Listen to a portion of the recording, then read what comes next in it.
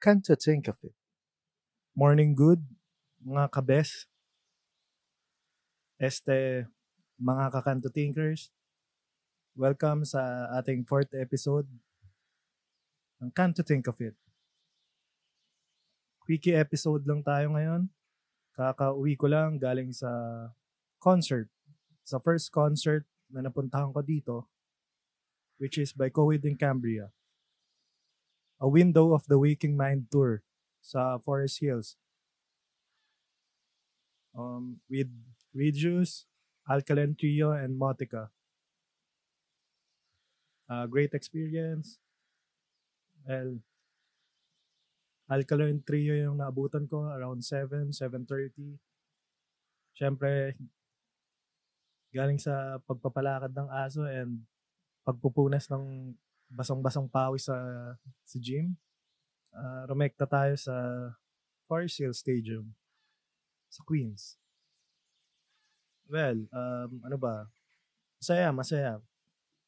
Solid din. Solid yung experience.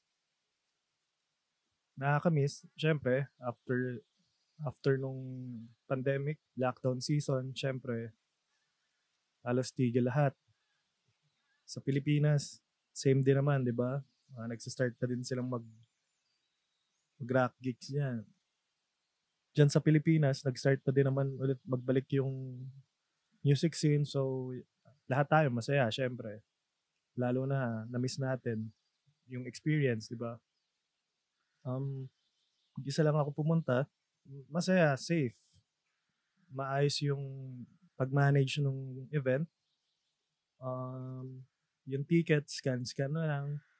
Tapos, sa pag-entrance, maraming maraming concessionaire, mga nagtitinda ng beer, mga quesadilla, mga mga pagkain. Pagpasok ko, alkaline trio na yung tumutugtog. So, doon ako si general admission. So, standing tayo. Siksikan, sa pawisan. Pero, alam mo yun, hindi siya dugyutan eh. Yung pit, hindi dugyot. Walang nagbabato ng bote na may ihe. Tapos kapag may nagka-crowd surfing, um, yun, tulungan talaga. Hindi katulad sa, dyan sa atin, may na-experience ako, talagang may, may nananapak pa, may sumusuntok dun sa...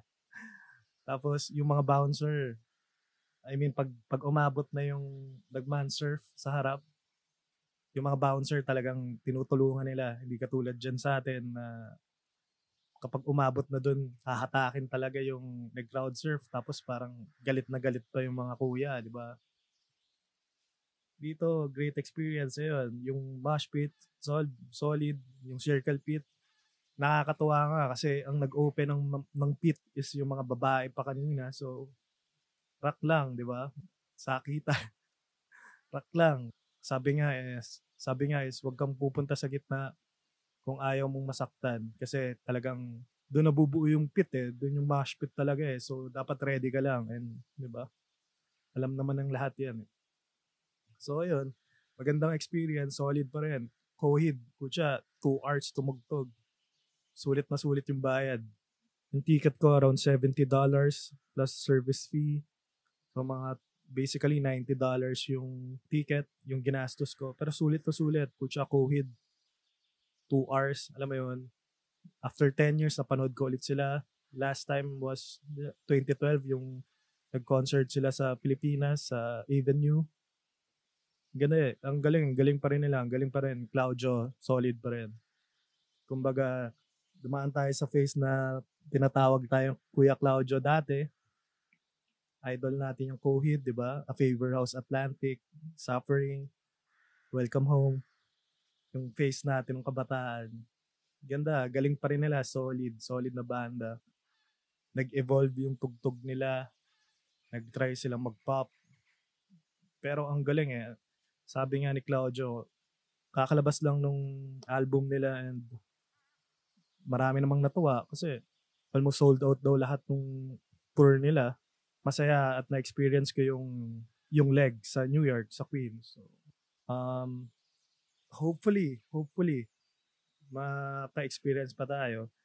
Last March, uh, last March, pinalagpas natin yung Deftones sa Pier 17. So, Kaya nung nakita ko itong posting na may gig yung COVID, sabi ko, Pucha, hindi ko na pala alampasin to kasi baka baka last na to eh, di ba? So, grab na lang yung opportunity.